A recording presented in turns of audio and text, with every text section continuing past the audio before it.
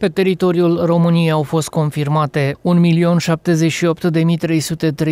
1.078.338 de cazuri de persoane infectate cu noul coronavirus, 1.041.256 de pacienți au fost declarați vindecați. În urma testelor efectuate la nivel național față de ultima raportare au fost înregistrate 196 de cazuri noi de persoane infectate cu SARS-CoV-2, acestea fiind cazuri care nu au mai avut anterior un test pozitiv. În ultimele 24 de ore în regiunea sud Muntenia au fost înregistrate în Argeș 10 cazuri noi, în Dâmbovița 4, Giurgiu 3, Ialomița 3, Ilfov un caz, Prahova și Teleorman câte 7 cazuri noi.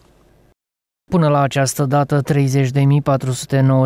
de persoane diagnosticate cu infecție cu SARS-CoV-2 au decedat. În intervalul 2 iunie, ora 10, 3 iunie, ora 10, au fost raportate de către INSP 84 de decese, 42 de bărbați și 42 de femei, ale unor pacienți infectați cu noul coronavirus internați în spitalele din Alba, Bihor, Cluj, Constanța, Covasna, Dâmbovița, Galați, Gorj, Hunedoara, Harghita, Iași, Mehedinți, Prahova, Timiș, Ilfov și municipiul București. 68 dintre aceste decese sunt anterioare intervalului mai sus menționat și au fost introduse în baza de date la solicitarea Ministerului Sănătății de către direcțiile de sănătate publică din țară în urma verificărilor efectuate. Astfel, patru decese s-au produs în luna octombrie 2020, 12 decese în noiembrie 2020, 12 în decembrie 2020, 9 în ianuarie 2021, 15 în februarie 2021, un deces în martie 2021 și 15 în aprilie 2021 în județele Dâmbovița, Galați, Gorj, Hunedoara, Iași, Ilfov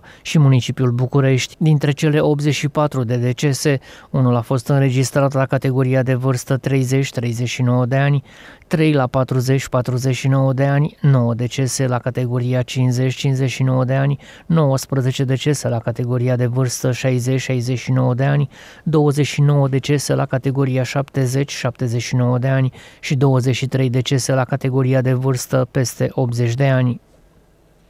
78 dintre decesele înregistrate sunt ale unor pacienți care au prezentat comorbidități, iar 6 pacienți decedați nu au prezentat comorbidități. În unitățile sanitare de profil, numărul total de persoane internate cu COVID-19 este de 1929. Dintre acestea, 365 sunt internate la ATI. Până la această dată, la nivel național, au fost prelucrate 7.945.521 de teste RT-PCR și 1.190 1914 teste rapide antigenice.